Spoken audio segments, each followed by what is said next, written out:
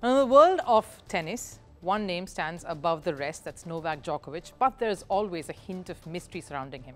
From his playing style to his hunger to stay on top, Djokovic and his measures have often been different from the rest. Maybe that's what sets him apart in some ways. He's out of the box thinking. The Serb came recently out, came out saying he wants to navigate the last phase of his career without a coach. Recently, Djokovic parted ways with his longtime coach Goran Ivanisevic and is currently in a trial period with compatriot Nenad Zimonjic. Djokovic hasn't made any decisions just yet. He may or may not continue with Zimonjic, but in times when Djokovic is not at his best, numbers clearly say so, will his decision to go without a coach backfire or will it surprise us all? Djokovic and sending shockwaves seems to be a regular occurrence, both on and off the tennis courts. If he isn't numbing his opponents with his incredible skills, he's busy trying to come up with radical things to do and make out of the box decisions, like this one.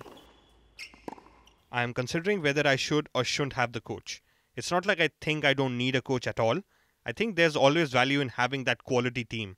But I think I'm in the stage of my career where I can afford to maybe think having no coach is also an option. Last month, Djokovic parted ways with his longtime coach Goran Ivanisevic.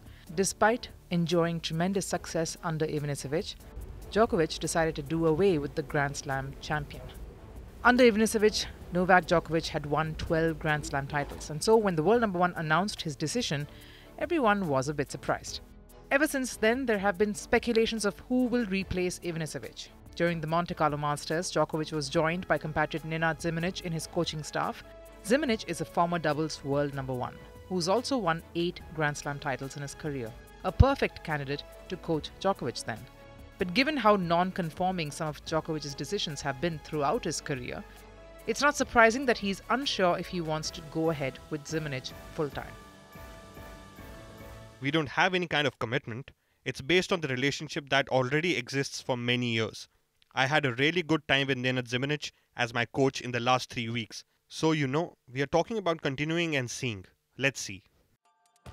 Djokovic has been that way all through his tennis life, whether it's his diet, his training methods, or the decisions he takes in life. He has a history of keeping his coaches on their toes as well when it comes to his tennis. Recently, Ivanisevic spoke out saying it's not easy working with Djokovic. He's not an easy guy, let's put it this way. Especially when something's not going his way. He keeps you stressed. The stress level is always high. It never goes down, but every day you learn something. At this, things have not been going his way this year. Djokovic's last tournament triumph came in November 2023.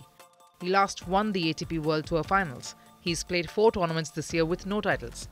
His last outing ended in a semi final defeat at the Monte Carlo Masters. Novak Djokovic is one of the greatest players of all time. He possesses an unparalleled level of skill, mental fortitude, and experience. There is little doubt in that. But even the legends of the game need a coach, a mentor, someone to guide them. Just like how Ivanisevic was brought into the team for working on Djokovic's serve back then, an area he was struggling with. And a massive change was noticeable post that. Djokovic, whose first serve was as low as 115.4 miles per hour in 2015, averaged 120 plus miles per hour in 2023, an area that Ivanisevic helped him get better in. And with Djokovic currently not getting the results he wants in 2024, shouldn't he get someone on board to help him sharpen that then? The Serb always had the knack of coming back into any match. He stretched his game till five sets to cross the line. That's how he's been. Despite his aggressive intent, he had a calm sense on court to outwit his opponents eventually never letting them get into his head. But in 2024, there has been a shift in Djokovic's headspace and a pattern to his losses. He looks agitated when he's behind in the match. Yes, Djokovic's strategic prowess and ability to adapt to different playing styles have been key components to his success, but he has not been able to do any of that in 2024. And in these circumstances, having a mentor could provide valuable insights and support.